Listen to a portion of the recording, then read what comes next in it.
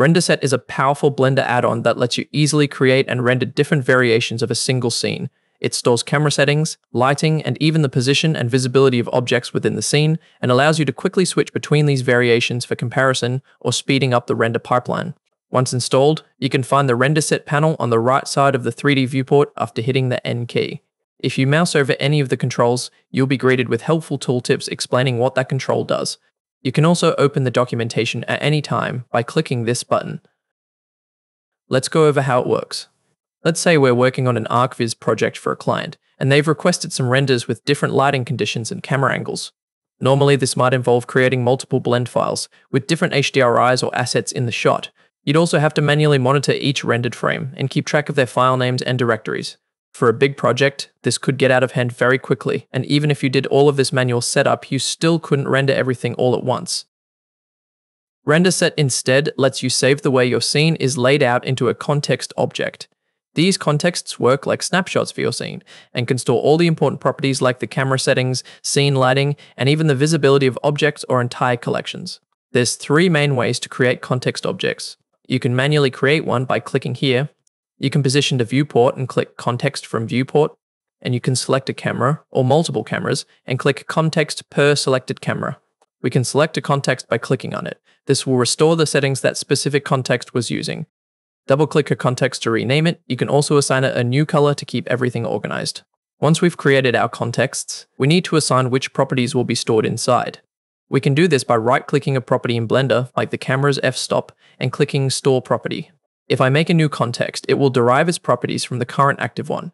When I change my f-stop, you can see I can easily jump between these two contexts. It's like saving your place in a video game. We can assign a new camera to the context by selecting it under the camera settings. To use different global lighting or HDRIs, head further down to the world settings. If you want to specify the visibility of certain objects or collections, you can open the render set preferences here. Scroll down to the visibility section and select which visibility options you want the context to save and restore. Now, if I hide the prop collection in the second context, it will still be visible in the others. You can find, edit, and remove any stored property from the Added Properties tab of the Render Set panel. You can also expand the context settings dropdown for easy access to Blender's render settings. Any modifications here will be saved inside the active context. If you need to edit multiple contexts at the same time, enable multi-edit mode by clicking here, then make your changes and hit apply. RenderSet will show you a list of changes you've made to ensure you don't break anything in your scene. We can also set up post-render actions such as copying the finished render to a different location, playing a notification sound, or even posting on Slack via webhook. Okay, we've set up our contexts and we're happy with how they all look. Normally, to render multiple stills, we would have to individually render from each camera, manually save the image, and name everything to keep it organized. With RenderSet, our folder structure is already set up for each context we create, we can also modify it at any point by clicking these override buttons and setting the file paths manually. RenderSet also works tightly with the compositor's file output node. You can set up individual render passes, and RenderSet will save those to its relevant folders as well, giving you more flexibility.